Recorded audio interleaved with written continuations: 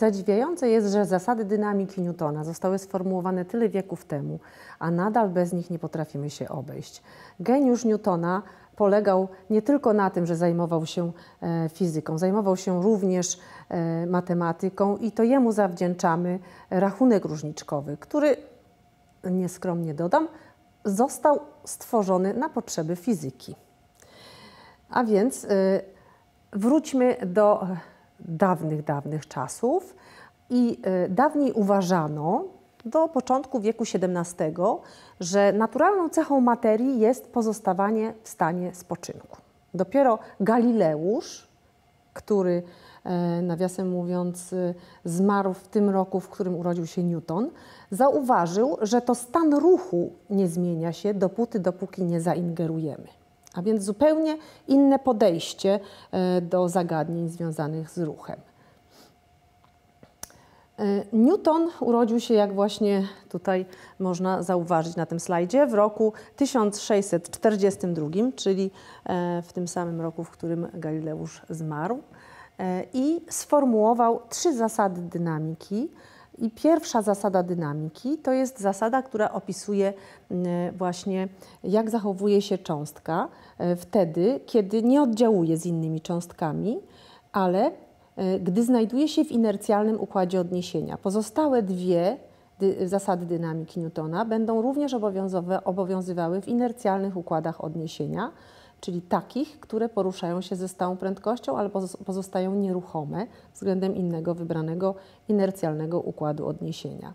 A więc pierwsze prawo dynamiki mówi, że jeśli cząstka nie oddziałuje z innymi cząstkami, to można znaleźć taki inercjalny układ odniesienia, w którym przyspieszenie cząstki jest równe zeru. Oryginalnie to prawo brzmiało troszeczkę inaczej. Według e, tłumaczenia z Filozofia Naturalis Principia Mathematica, w których pojawił się właśnie, pojawiły się te artykuły napisane przez, e, przez Newtona, e, są, jest to następujące tłumaczenie, że każde ciało pozostaje w spoczynku lub porusza się po linii prostej, jeśli nie działają na nie siły zewnętrzne. Newton oprócz tego, że sformułował zasady dynamiki, sformułował również, poza wspomnianym przeze mnie olbrzymim aparatem matematycznym y, rachunku różniczkowego, sformułował również y, prawo grawitacji, ale oprócz tego jeszcze y, bardzo dużo wniósł w inną dziedzinę fizyki, mianowicie w optykę. Jeśli mówimy o y, jeśli mówimy o zasadach dynamiki, to musimy koniecznie powiedzieć o bezwładności ciał. Otóż y, jeżeli, jeżeli próbujemy zmienić stan ruchu ciała, to wtedy to ciało pozostaje jak gdyby nieobojętne na to, to znaczy zachowuje się w ten sposób, że stawia opór. I ta cecha materii nazywana jest bezwładnością ciał, czyli im większa jest pewna cecha, która charakteryzuje właśnie ten opór materii na nasze działanie zewnętrzne, tym trudniej jest zmienić stan ruchu. I tą cechą jest masa ciała, a więc masa ciała decyduje o tym, jaki jest rezultat działania siły na tą cząstkę, na, jakąś, na jakiś obiekt. Czyli tą wielkością fizyczną, która jest odpowiedzialna za bezwładność ciała, jest jego masa. Jest to immanentna cecha, która jest przypisana każdemu ciału i ona nie zależy od innych czynników zewnętrznych. Drugie prawo dynamiki Newtona y, jest formułowane następująco. Y, mianowicie, y, zanim powiemy o tym prawie, wyobraźmy sobie, że mamy cztery cząstki i te cztery cząstki oddziałują na siebie w ten sposób, że każda cząstka oddziałuje na każdą cząstkę, czyli na cząstkę pierwszą działają siły ze strony cząstek 2, 4 i 3 i na cząstkę 4 ze strony 1, 2, 3 i tak dalej prawda? I na każdą cząstkę wypadkowa siła jest sumą wszystkich sił, które pojawiają się w układzie, a więc mamy tutaj do czynienia z zasadą superpozycji, czyli dodajemy wektorowo wszystkie siły i te wszystkie siły powodują, że zmienia się stan ruchu cząstki. I druga zasada dynamiki Newtona mówi, że w inercjalnym układzie odniesienia przyspieszenie cząstki jest proporcjonalne do wypadkowej siły działającej na cząstkę, a odwrotnie proporcjonalne właśnie do tej cechy, która przeszkadza zmianie stanu ruchu, a więc do masy. Czyli jak wrócimy do naszego przykładu z czterema cząstkami, narysujemy sobie siły, jakie działają na przykład na cząstkę 4 ze strony wszystkich innych e, sił. Na przykład ze strony cząstki pierwszej to jest siła jakaś przyciągająca, ze strony cząstki trzeciej siła też przyciągająca, a ze strony cząstki drugiej siła odpychająca.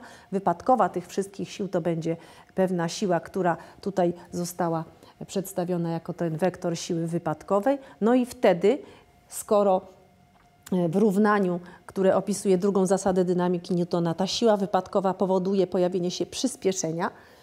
Współczynnikiem proporcjonalności między siłą wypadkową a przyspieszeniem jest liczba, skalar, no to znaczy, że przyspieszenie musi mieć taki sam zwrot jak ta siła wypadkowa, a więc musi to być wektor, który tutaj został zaznaczony na czerwono. Trzecie prawo dynamiki to jest prawo, które nazywane jest prawem akcji i reakcji. I tutaj e, jako przykład rozważmy dwie cząstki, między którymi występuje e, siła przyciągania grawitacyjnego. Ta siła jest skierowana na prostej łączącej te dwie cząstki i siła, z jaką jedna cząstka działa na drugą cząstkę, jest równa sile, z jaką druga cząstka działa na pierwszą cząstkę. Co do wartości, zaś zwroty tych sił są przeciwne. I to jest treść trzeciego prawa dynamiki, które krótko można by mm, streścić w takim stwierdzeniu, że akcji towarzyszy reakcja. I y, jak wynika z tego wzoru, y, z, tego, y, z, tego, z tej definicji, siła, z jaką cząstka pierwsza działa na drugą cząstkę, jest równa co do wartości tej sile, z jaką druga działa na pierwszą, ale zwroty są przeciwne, co e, tutaj symbolicznie zaznaczamy w ten sposób, że wektor f1,2 jest równy minus wektorowi f2,1, bo mają te same długości, tylko zwroty przeciwne. E, jak jeszcze można zilustrować to trzecie prawo dynamiki? Wyobraźmy sobie, że mamy jakieś podłoże i naciskamy ręką na to podłoże i wówczas E, siła, z jaką działamy na podłoże, jest siłą, która jest przyłożona do tego podłoża, czyli to jest wektor, który jest skierowany do dołu, oznaczony F2,1, ale jednocześnie odczuwamy, jeżeli będziemy bardzo mocno przyciskać, że stół czy jakieś podłoże, które przyciskamy, działa na nas z taką samą siłą, tylko o zwrocie przeciwnym. I mówimy, że ta, te dwie siły to jest para sił akcja-reakcja. Proszę zwrócić uwagę, że one są przyłożone do innych ciał. Ta siła, z jaką ten, ten, to podłoże działa na rękę, jest skierowana, do, jest skierowana do góry i jest przyłożona do ręki, zaś siła, z jaką ręka działa na stół, e, została intencjonalnie przeze mnie narysowany ten wektor siły przesunięty, żeby było widać, że on jest związany z podłożem, a nie z ręką, prawda? Z tego wynika, że te dwie siły nigdy nie mogą się równoważyć, ponieważ są przyłożone do różnych obiektów. To jest pierwszy taki rysunek, na którym mamy przedstawiony tak zwany diagram sił. Dla y, dynamiki to jest kluczowa sprawa, żeby każde zagadnienie rozwiązywać właśnie, e, żeby rozwiązać każde zagadnienie, musimy najpierw sformułować diagram, czyli narysować sobie taki diagram sił.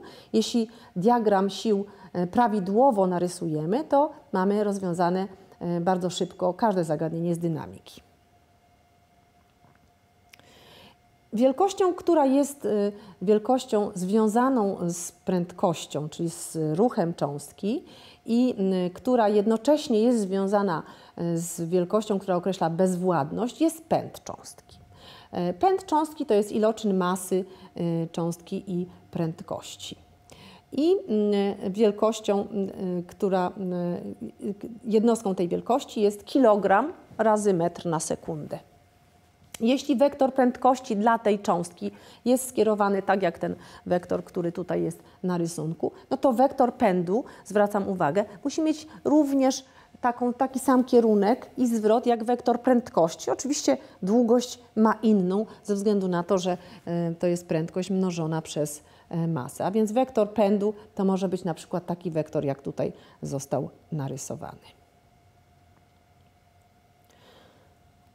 I teraz, jeżeli e, będziemy drugą zasadę dynamiki Newtona formułować przy pomocy pędu, to ona będzie wyglądała następująco. Siła wypadkowa jest równa pochodnej pędu po czasie. To równanie jest bardzo użyteczną postacią drugiej zasady dynamiki Newtona, ponieważ wtedy, kiedy masa cząstki się zmienia, to wtedy równanie siła wypadkowa równa się masa razy przyspieszenie jest złym równaniem. Nie możemy go stosować. Kiedy mamy do czynienia z taką sytuacją? No wtedy, kiedy masa obiektu się zmienia, na przykład jeśli to jest rakieta, która ma silnik odrzutowy i jej masa maleje z czasem, im dłużej trwa ruch, albo e, jak to jest cząstka, która porusza się z bardzo dużą podświetlną prędkością, czyli bliską prędkości światła, i wtedy jej masa, mówimy, że to nie jest zwykła masa, tylko masa relatywistyczna, i ta masa się zmienia i rośnie, czyli cząstka pozornie wydaje się być coraz bardziej oporna na zmianę stan, stanu ruchu, wtedy kiedy jej prędkość jest bardzo duża. E, natomiast jeśli prędkość jest mała, to nie ma znaczenia, jakiego e, sformułowania dla drugiej zasady dynamiki Newtona użyjemy. E, dlaczego tak jest? Dlaczego to równanie jest lepsze wtedy, kiedy masa się zmienia? To wynika z faktu, który tutaj poniżej przytoczymy, to znaczy z równań, które sobie tutaj pokażemy. Otóż jeśli Y, skorzystamy właśnie z tej postaci drugiej zasady dynamiki Newtona, tej uniwersalnej postaci, która jest słuszna również dla zmiennej masy. Siła wypadkowa to jest pochodna pędu przez czas, pochodna pędu w czasie. No i teraz podstawmy e, sobie w tym równaniu definicję pędu, masa razy prędkość. No i teraz jeśli masa się nie zmienia, to możemy tę masę przed pochodną wyciągnąć i otrzymamy masa razy pochodna prędkości po czasie i otrzymamy w rezultacie równanie, że to jest masa razy przyspieszenie.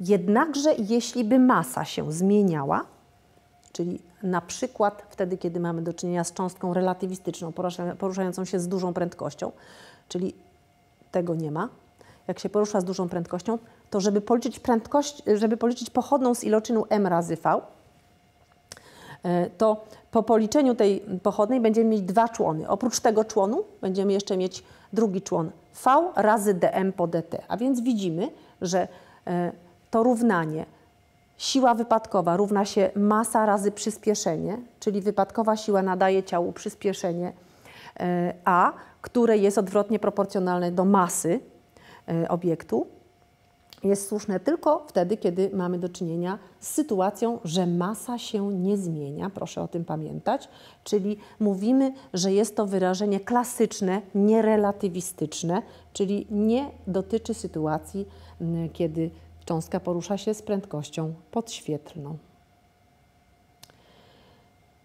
Wcześniej y, omawialiśmy zasadę względności Galileusza, mówiliśmy, co to są inercjalne układy odniesienia, przypomnijmy sobie. Mamy pewien układ odniesienia, e, który porusza się z pewną prędkością względem drugiego układu odniesienia, który jest nieruchomy. Ten układ e, porusza się ze stałą prędkością.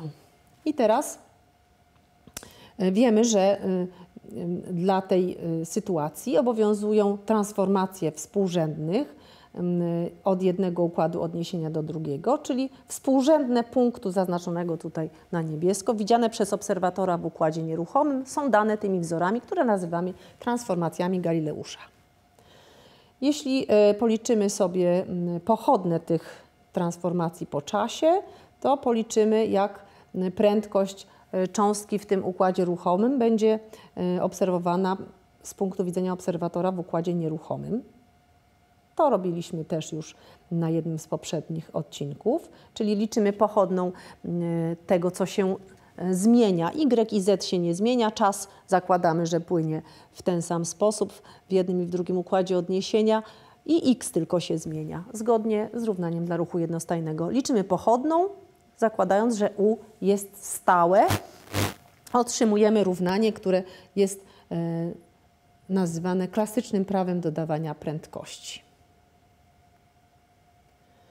Jeśli e, natomiast z tego równania policzymy prędkość v', to v' jest dana wzorem, czyli prędkość mierzona przez obserwatora w układzie ruchomym. E, to prędkość cząstki to jest v minus prędkość, z jaką układ się porusza. I teraz, korzystając ze wzoru na prędkość względną, możemy policzyć, jak wygląda przyspieszenie cząstki, która znajduje się e, w poruszającym się układzie. A więc e, Przepiszmy wzór, który przed chwilą zapisaliśmy. Prędkość widziana przez obserwatora w układzie ruchomym to jest e, prędkość widziana przez obserwatora, który pozostaje na peronie, minus prędkość układu.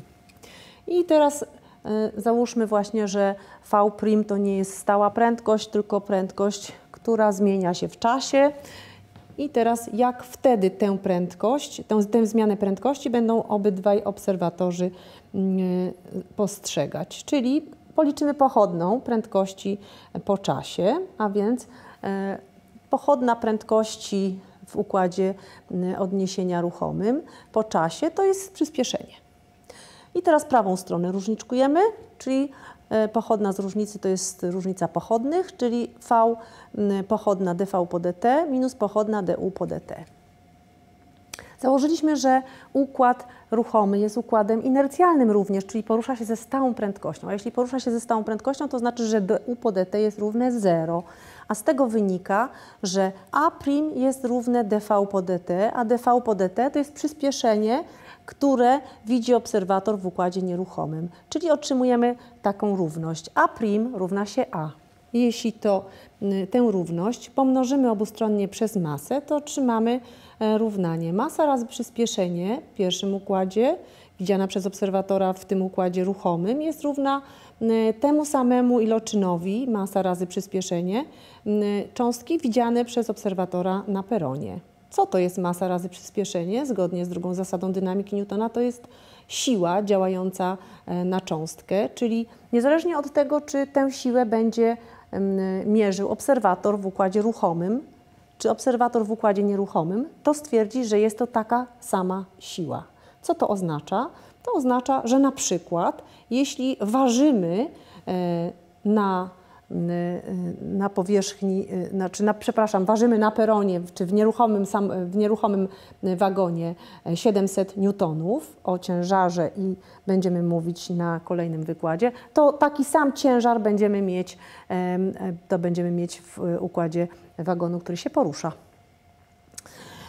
A więc można powiedzieć bardzo, y, czy można wywnioskować teraz bardzo ogólną konkluzję na podstawie tego równania, mianowicie, e, że, prawa fizyki są takie same we wszystkich inercjalnych układach odniesienia, no bo e, to jest prawo fizyki, prawda? To jest druga zasada dynamiki Newtona, która mówi, że siła jest równa masa razy przyspieszenie i ta siła nie zależy od wybranego inercjalnego układu odniesienia ale jeszcze ogólniejsze sformułowanie, mianowicie, że zasady dynamiki Newtona są niezmiennicze względem transformacji Galileusza.